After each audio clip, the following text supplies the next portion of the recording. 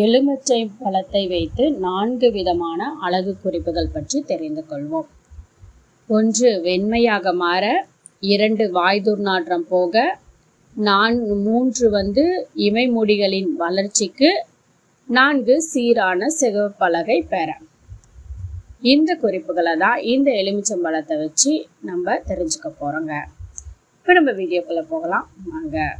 அதாவது first one வந்து வெண்மையாக வந்து வெள்ளை முகத்தை பெறணும் அப்படின்னு நினச்சிங்கன்னா பாதி எலுமிச்சம்பழத்தை எடுத்துக்கோங்க.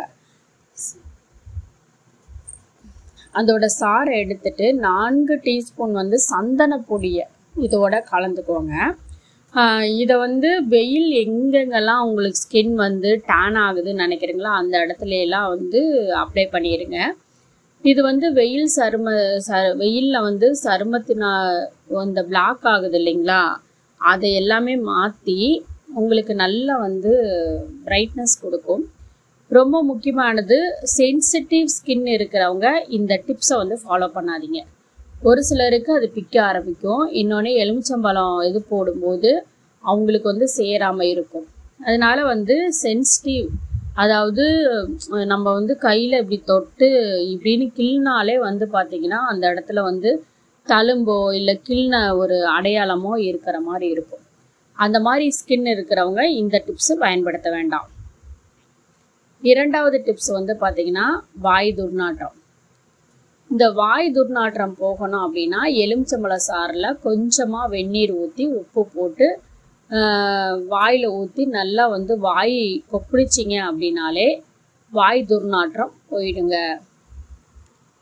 மூன்றாவது டிப்ஸு இமை முடிகளோட வளர்ச்சிக்குங்க. எலுமிச்சையோட தோள்களை சீவி அதை ஆலிவ் எண்ணெய் இல்லைன்னா விளக்கெண்ணெயில் ஒரு வாரம் ஊற வச்சுடுங்க. அந்த எண்ணெயை கண் இமை முடிகளில் தொடர்ந்து தடவிட்டு வந்தீங்கன்னா இமை மு முடிகள் நல்ல வளர்ச்சியாக இருக்குங்க.